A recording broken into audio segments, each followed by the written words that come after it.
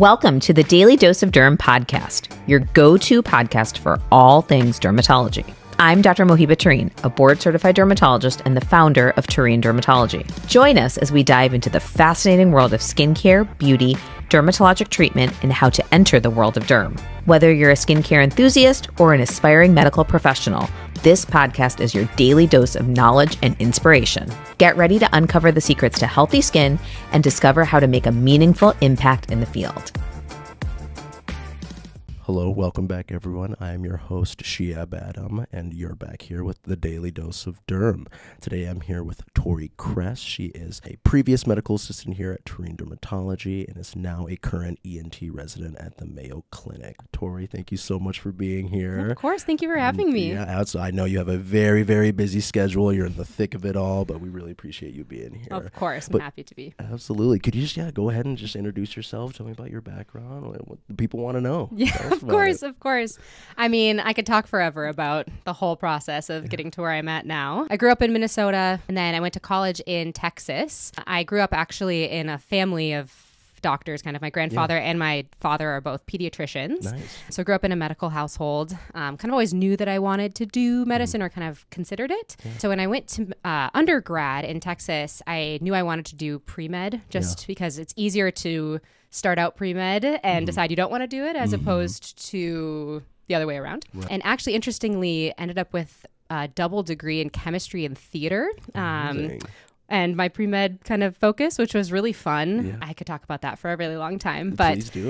Hey, uh, it was just really fun to like balance my brain and see things kind of from a different perspective and to be able to have something creative to do when I was sick of like organic chemistry. Absolutely. Um, so that was super fun. And then I came back to Minnesota for my gap years. I was mm-hmm. planning on taking one and actually didn't get into medical school the first time I applied. Mm. And so that was a little bit of a shock. Yeah. And then worked here at Tureen Dermatology for a little less than a year and a half mm. during the second half of my first gap year and my second gap year and got so much great experience and got into medical school the second time I applied and ended up going to medical school in Southern California, which was very fun and very warm. Loved that. Honestly, med school again, I could talk about it forever, but I think it was four of the best years of my life. I loved it so Absolutely, yeah. much. And then I'm in my second year now of Mm-hmm. five of ear, nose, and throat head and neck surgery residency at Mayo. So What's that like? Tell me about it. Like, Oh, it's wild. Residency is not for the faint of heart. I would say that, but it's amazing. ENT is actually something that I went into medical school Mm-hmm. kind of set on doing. My dad had put together, hey, theater, singing, communication, that's really important to you. Why don't you shadow an ENT? And shadowed one at his group. And not only was it an awesome field that's both a little bit of medical and clinical and also surgical, which I love. I also shadowed a female ENT and I was like, wow, I could really see myself doing this. And the more and more I dug into the specialty and how nuanced and diverse and um, the skill sets and the type of patients you get to take care of.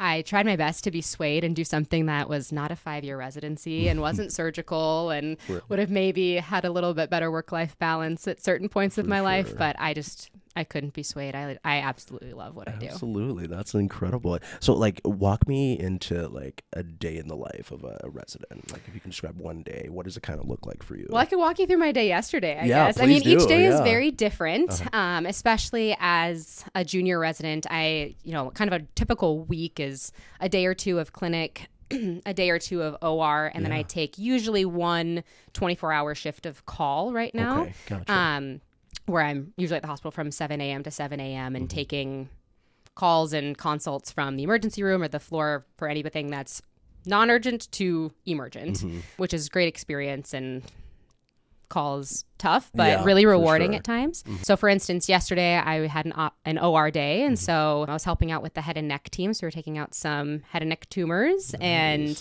doing some neck dissections. And then I took call overnight. I think it was actually a pretty calm night. I'm a little bit of a white cloud. Yeah, so, yeah. it was nice because I knew I was driving up here for this. sure, yeah, so, got a little bit of sleep, but um, it's a really kind of a cool honor to be the the only ENT in the hospital overnight. awesome. Something happens, you know, you're, You're the it. you're it. You're the um, from everything from a nosebleed to someone who can't breathe. Mm-hmm. And uh, thankfully, none of that happened last night. There we go. But Good to hear. um, that was, you know, that's kind of a typical day, at least right now for me. Yeah, absolutely. So, kind of circling back, you know, you came here, you, you spent your gap year here at Tree Mm-hmm. Yes. Dermatology. Um, who did you work with? What was your experience like? If you can kind of touch base. It like- was it was great. I actually had initially set up a job to work as a scribe Mm-hmm. with a different company during my gap year and was a little disappointed by not only the amount of hours they were assigning me Mm-hmm. but also just the lack of interaction I got with patients and really the lack of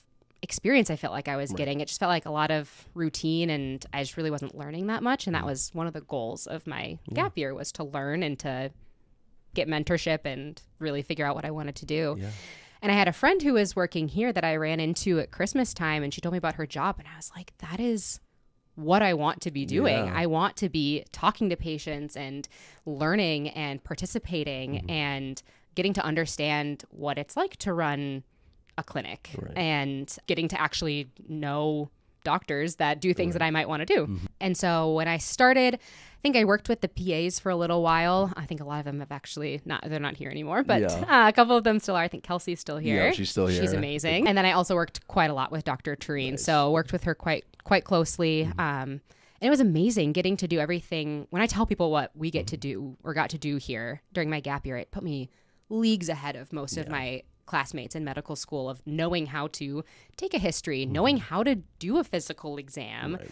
which is a huge skill set that takes a long time for a lot of people to learn. Knowing how to communicate with somebody when there's good news, bad news, learning how to assist in procedures, write notes, schedule things. I mean, we do the you guys well, I'm not here anymore, but you guys Yeah, no, do the whole It's- breadth of things and it's such a fantastic experience and Mm-hmm. sets people up for I think success no matter what they decide to Mm-hmm. do whether it's medical school, PA school, nursing or lit- any career. It's such an important way to know how to talk to people in their most vulnerable state, um, which is a lot of times at the doctor. Mm-hmm. Yeah, Um, and I, I cannot credit the experience that I had here enough with setting me up for success in my career. Absolutely. Yeah, I couldn't agree more. I mean, for me, this was uh, like my first clinical experience Mm-hmm. almost. And to, to be at the comfort level that I'm at now, you know, year two, working directly with Dr. Tureen, it I definitely, I, I do feel like I could possibly be leagues ahead of my peers, possibly in grad school. You- and you will be. Yeah, from these experiences here at this Absolutely. job. So I couldn't agree more there.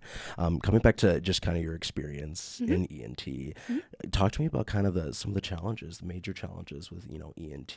Whether you find it, whether it's kind of whether it's mainly you find it to be a challenge for you, or maybe if it's a broadly known challenge within ENT. Mm-hmm. What are some of those things? Kind of pros and cons with that specialty, Oh, I guess. Absolutely. So one way I describe ENT, because a lot of people think of ENT doctors as we like clean out earwax and do tubes and tonsils, which we do Oh, yeah. a lot of that. But really, we are the head and neck specialists. So Mm-hmm. pretty much everything above the clavicles that's not the eyeballs, thank goodness, um, the brain, also thank goodness, and the spine, also thank goodness. I don't want to deal with those three things. Um, but I mean, that's everything from voice and swallowing to airway things to sinus surgery and ears and facial plastics and pediatric ENT. Um, cleft lip and palate is also within our scope. And so it's this people think of ENT and they don't think, I mean, honestly, I don't know that I recognized how truly broad it was until I got, I was already kind of hooked. Yeah. So that's really it's a really cool aspect, but it's mm-hmm. also a lot to learn. Mm-hmm. And one I would say exciting challenge is also how broad the scope of our surgical procedures are. Mm-hmm. I mean, there's big open procedures where, you know, we're taking out cancer and rebuilding someone's face mm-hmm. sometimes Yeah. to really, you know, finesse rhinoplasties to working under a microscope mm-hmm. uh, in the ear and drilling away the bone of the ear mm-hmm. or working in a microscope and working on someone's voice box where you're taking a three millimeter biopsy of a vocal cord Right. which is Right. with instruments that are this long to working with endoscope like working with one hand with an endoscopic telescope in the sinuses and using your other hand to open up someone's sinuses i mean it's just this huge range of mm-hmm. different skill sets mm-hmm. that again i don't know that i fully grasped until i was like already in the thick of it but it's and it's a little intimidating. She's like, wow, that's a lot to learn, Right. but it makes it really exciting and mm-hmm. really cool to say like we are the experts. There's like no one else who knows how to do Yeah, this, which is really cool, mm-hmm. but sometimes a little frustrating in the hospital setting where people are like, what is an ear? Right, I don't know what an ear is. Please help. And you're like, okay, yep, that's my job. Like I'm here to help not only the, educate the patients and take care of them, but also take it on myself if I can and I have the time to like mm-hmm. educate other members of the hospital team to say like, hey, this is what I would do. This is how to manage this if like we're not available or if you're in a situation where you don't have ENT. Mm-hmm. So I think a lot of the challenges are also kind of cool benefits and Yeah, like they're exciting sure. challenges. Absolutely, yeah. Out of all the you know grotesque procedures that you get to do, is there one procedure where it's just like, man, that is so satisfying to do. That is so satisfying to complete, remove. Like, do you have There's like so something many. weird? Yeah, I have- love at this point. I mean, there's I'm only in my second year of residency. Okay. I've got quite a while to Yeah. Mm-hmm. go, and I haven't figured out what I want to do quite yet.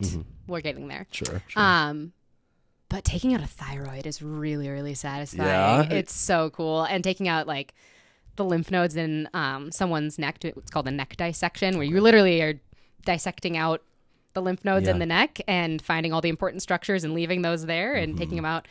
They're very satisfying. Mm-hmm. amazing. They're pretty cool. They're pretty it. cool. So, say I am aspiring to be an ENT Mm-hmm. specialist. What is like the best advice you could give me, especially with me starting this journey? Yeah, of course. I would say it's so hard. I think in general, with anybody aspiring to go into anything in medicine, but especially something that is classically deemed as competitive. I don't mm-hmm. love that word I feel like it gets overused, mm-hmm. but is to find really good mentorship. Mm-hmm. And that doesn't necessarily always have to be in the exact specialty that you're going into, but finding someone who will tell you when something's a bad idea, when something is, you know, not going to put you in the position that you need to be in, someone who will, you know, if it's a research mentor who will really actually, you know, encourage and push things forward as opposed to you having to do all of it. So finding good mentorship, Yeah. and whether it's clinical, surgical, surgical research, all mm-hmm. of that. And then just really like getting experience Yeah. and not only in just what you want to do, but really seeing, trying to see the full broad range of mm-hmm. things. Because I think a big part of picking a specialty, especially for us, you know, MDs and DOs that kind of have to pick one and then mm-hmm. we're sort of stuck doing it, Right. um, is not only finding what you really like, but also recognizing the mundane kind of parts mm-hmm. of each specialty and saying like am i going to be happy still doing Right. this on kind of the the down days? Mm-hmm. You know i might love certain aspects of one specialty but if i hate mm-hmm. the mundane aspects of that specialty and i'm going to be unhappy i think that that's a really wise thing to take into consideration. Absolutely. and so getting experience, finding good mentorship, and getting involved is is important for any specialty, but especially something like ENT where a lot of people don't get exposed to it. Mm-hmm. And there's a lot of people that I meet or I met through medical school or I meet in residency who are like, I never had an ENT rotation because it's Yeah. not required. Mm-hmm. And they said like, I wonder if I would have really liked it. Yeah. I wonder if I really would have wanted to do that, but mm. I never got exposed to it. Mm. And so if it's something that maybe interests you, just find most ENTs are pretty nice. We're pretty we're pretty cool Pretty people. chill for the most part. Um, I, I mean that's another big part of it is find your people. yeah. Yeah. Okay. Find the people that you're going to be okay spending well in residency like 80 hours a week with sometimes. Sure. That's super important no matter what you're going into and ENT were just the people that I said like, yep, I I fit here. This Mm-hmm. right. not only do I love this specialty, I love these people, I love these patients and it all worked out. I'm pretty grateful. That's amazing. That's amazing. So, kind of going into just overall Mm-hmm.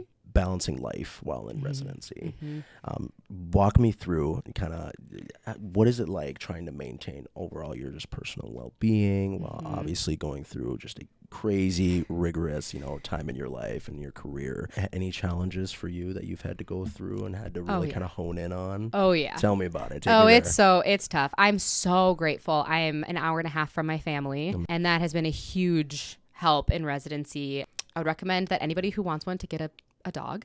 Um, my dog has gotten me through med school and residency so far. And I actually, some of the best advice I got from my dad before starting medical school was you have to have a hobby. Like you have to lean into things that make you you because it's so easy to lose it in med school. And setting boundaries Yeah. is super important. There's no way to know it all. in any field of anything, I think, but especially in medicine, there's this feeling that you can memorize everything and you can get by by root memorization and you there's some way to like know these whole textbooks and i kind of think that's impossible mm-hmm. a lot more of it is being able to understand the big concepts and be able to apply your knowledge and understand where th- things fit in mm-hmm. there's a mm-hmm. reason we have the internet there's a reason we have colleagues there's a reason we have research right.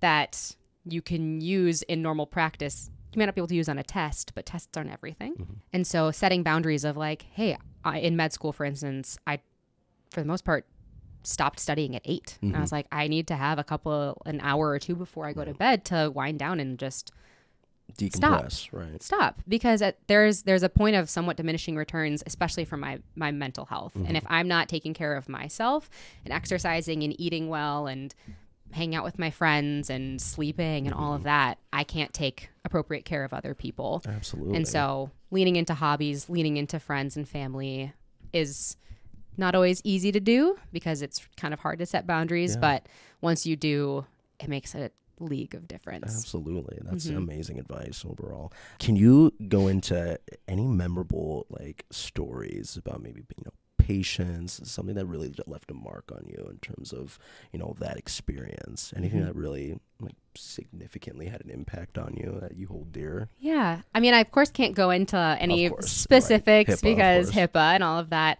I think what really comes to my mind, especially I have a really unique program mm. that's very different than pretty much any other surgical training in the country. Mm. Mayo's surgical residencies are an apprenticeship model. Mm. Pretty much I go to clinic with my uh, attending consultant and I go to the OR with them. So I'm their resident uh, for like 10 weeks at mm. a mm-hmm. time. And so what's really cool is to see a patient go from clinic beforehand do their surgery mm-hmm. and where I am the assisting mm-hmm. surgeon, right. you know, taking care of them primarily in the hospital and then sometimes even seeing them in follow up or having, you know, even when I'm off service, having the consultant I was with say, Hey, this patient came back to clinic and like they're doing so good. Like mm-hmm. you did such a good job. And being able to actually see that whole arc yeah. is really, really cool. And just yeah. being able to sit with people in their most vulnerable moments. Mm-hmm. I mean, I don't think anyone's more more vulnerable or more probably scared than they are of than course. they were going into surgery. Right. For me, surgery is something I do every day. Mm-hmm.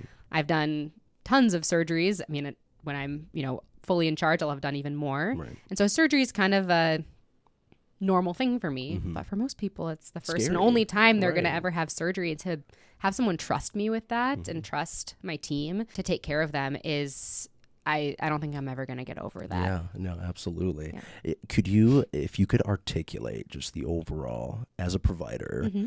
the privilege and mm-hmm. responsibility of, you know, your position and how that feels. Mm-hmm. Could you articulate that and just kind of describe that for, for those that maybe have absolutely yeah. no idea what it's like being a healthcare provider, being a healthcare worker? Mm-hmm. How would you kind of, if you could? It's it's so interesting because like I said, people trust you with like their lives. Mm-hmm. And sometimes you're like, why me? Like why how did I get to this point? Like why am I so like lucky to get to take care of somebody mm-hmm. like this. And I think especially since I started my residency, actually being able to do something as a med mm-hmm. student, you get to do some things, you get to participate. Yeah. But the fact that when I go see a patient after surgery and I ask, you know, what can I do to make you more comfortable tonight? Yeah. And they're either having difficulty with pain or they're having heartburn or something like that. And I can just pull out my phone and write an order for it and I can do that for mm. them. It's it seems so routine mm-hmm. and mundane, but sometimes even those like little moments where I'm just like, I actually get to do this. Yeah. And I actually get to make an active difference in people's mm-hmm. lives. Medicine is a really hard thing to do too because there's a lot of sadness in mm-hmm. it too and a lot of loss not only you know of my personal time and finances and right. you know my 20s but you know patients there's not always great news for mm-hmm. patients yeah. especially for ENT I think what really sucked me into the specialty and keeps me going is being able to help people communicate better because mm-hmm. yeah. I think that the way that we as humans communicate is really what makes us most mm-hmm. human our ability to whether it's talk, sit and have a meal at a restaurant, to hear, to breathe Mm-hmm. through our noses or through our mouths. Like all of that is like so just basic. Mhm, But when it goes away, it makes people not able to show up in the um, you know in the way that they want to in the world and to be able to be a part of you know hopefully getting them one step further to Yeah. being able to show up in the way they want to in the world is it's a huge honor. Absolutely, Mm-hmm. absolutely. So going kind of you know shooting towards the future Mhm. here, where do you kind of see yourself um, in terms of you know after residency, right? The Mhm. overall future of otolaryngology. Like where do Mhm. you where do you see yourself evolving into you know your career? It's a fantastic question. I would love to answer that Yeah. if I knew. I think there's a very high likelihood that I'll do fellowship after residency. So residency for ENT is five years, and then I would likely do one additional year of training to s Mm-hmm. Nice. further subspecialize. Mhm. I really love medical education. Mm-hmm. I love kind of where residency training I think is going and, and can continue to go. Mm-hmm. I love teaching and getting to be a part of all of that process. And so I at this point see myself probably working in an academic center of some point of some sort. Yeah. Um at least for some portion of my career and working with medical students and residents and hopefully even like PA students Yeah. and things like that and really just getting to help build up a culture of um, curiosity Yeah. and you know safe patient care and um, empathy and wellness as well as really good medicine Yeah, for sure. and surgical care. Don't quite know what that's going to look like Yeah, yet. I would love to answer that, and hopefully, I'll have an answer for myself at some yeah. point. Keep me posted. Keep me posted. Love to hear from you. keep you posted. Absolutely. Could you could you shed any light on like any latest, whether it's advancements, breakthroughs throughout the field overall that like really excite you? Like, Mhm. are there has there been any tremendous breakthrough in terms of any like surgical aspect of the field? Any anything like that? I don't know. I don't know. So I mean, there probably are. I'm still just trying to like catch up on, you know, the basics, basics, yeah. a little bit. I think, but there's a really big push, I think, in medicine in general, but especially in surgical subspecialties, and ENT is one of one of the ones that's really focusing on like medical education and resident education, resident wellness, resilience, you know, retention, hmm. um, making sure that we are creating an environment where a diverse group of people can thrive in practice. Mm-hmm. So that's diversity of background, mental health, mm-hmm. like women, people who want to have families. All of that is so important because to be able to take care of the diversity of patients that we mm-hmm. take care of, we need to have a diverse group of people Right. that provide care. Absolutely. And so to be able to create uh, environments in which that is possible, yeah. I think there's a lot of push towards, you know, diversity, inclusion, equity, Mm-hmm. um, resident wellness. And that's something that I find really important because the field's not going to advance if we can't keep people in, you know, if we can't get people through residency and we can't keep people in medicine because it's, it's really hard, Right. but um, it's really important to support people and make sure that the people who want to do this and who feel called to do this Mm-hmm. can do this and also show up in their own Right. lives. Absolutely. Absolutely. Uh, kind of amidst your busy schedule already, Mm-hmm. um, is there any sort of resource that's provided, whether it's provided to you or something you keep up Mm-hmm. with, what, that has really all kind of major developments, research within the field, or Mm-hmm. just medicine in general? Is there anything that you kind of you know go to as a uh, you know as a resident, like oh like I need to go check this out, like what's going on in my field right Yeah, now? yeah, yeah. So I mean, there's lots of uh, journals. I Mm-hmm. think journals are a really great place to go. Going to conferences is really Mm-hmm. fun. Um, not only because you get to network and see other people Yeah. that you know are in your same position, but it's a really great place. I'm such a like a tactile learner. Like I love actually being there and hearing people talk about it. Yeah. Sometimes reading a paper makes me want to fall asleep. Yeah. um, or reading a book, but For actually sure. getting to listen. There's a lot of um, great podcasts. Uh, there's a source resource that was initially out of Mayo. One of my um, consultants actually helped create it called Headmirror. And you're- Um, and so not only do they have kind of some like a survival guide for being on call. Essentially, mm-hmm. they have a video atlas of different surgical procedures. I'm also very lucky. A lot of those are my consultants doing Yeah, those yeah. because a lot of it's based at Mayo. And so, and not only am I seeing the procedure, but I'm usually seeing it how it's going to be done the next There day. It's a really fantastic resource for anybody that's either rotating through ENT, interested in learning about ENT, and it kind of there's a lot of resources for medical students, residents, all that. And they also have a podcast called mm-hmm. Head Mirror ENT in a Nutshell. Mm-hmm. That's really great where they bring on experts and talk about not only, you know, the basics of ENT, but then also the breakthroughs. So those are Amazing. that's a really great resource for anybody who wants to learn a little bit more about ENT or is going into it. Yeah, absolutely. So, just to kind of overall Mm-hmm. reflect on, eh, you know, your journey as a resident, um, as a medical student, was there any defining moment or achievement for you that made Mm-hmm. you realize, like, yeah, uh, I'm that, I'm that girl. Yeah, like I did that. Yeah. I think I think my match day might go down as like the greatest day of my life. Yeah. For a lot of people who don't I mean, I'll try to try to mm-hmm. explain it. Match day is like you pick a specialty, you apply to mm-hmm. I applied to like 70 or 80 programs, mm. and then you interview at a handful and then you make a ranked ordered list that's pretty much saying I will agree to go to any of these places mm-hmm. and move there for 5 years of training, but you don't know how then it goes into an algorithm that takes each program's rank list and your rank list and you match and if you match you match into one place and you get Mm. a letter that says here's where you're moving it is the most stressful It sounds experience ever Yeah. but opening up my letter i still sometimes i we just had match day for you know our new class a couple of weeks ago Mm-hmm. and i love all things about match day i think it's just so emotional and wonderful For sure. for most people for me it was all very positive and i went back and watched my match video and just bawled Yeah. um and just opening up that letter and seeing like all of the work that i put in Mm-hmm. and this dream that i had had for you know four years of being an ent Mm-hmm. and then it, also the fact that i got to come home Mm-hmm. and be closer to home and train at somewhere like mayo Mm-hmm.